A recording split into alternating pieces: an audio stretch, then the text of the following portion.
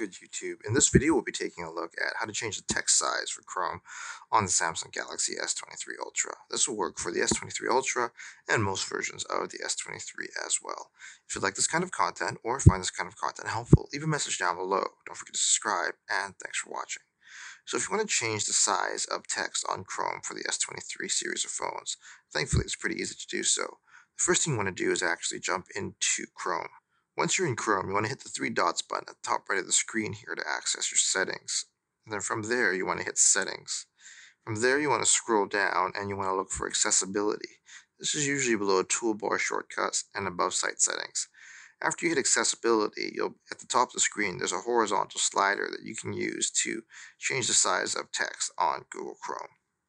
So there you have it, everyone. Just a quick tip on how to change the text size for Chrome on the Samsung Galaxy S23 series of phones. If you like this kind of content or find this kind of content helpful, leave a message down below. Don't forget to subscribe, and thanks for watching.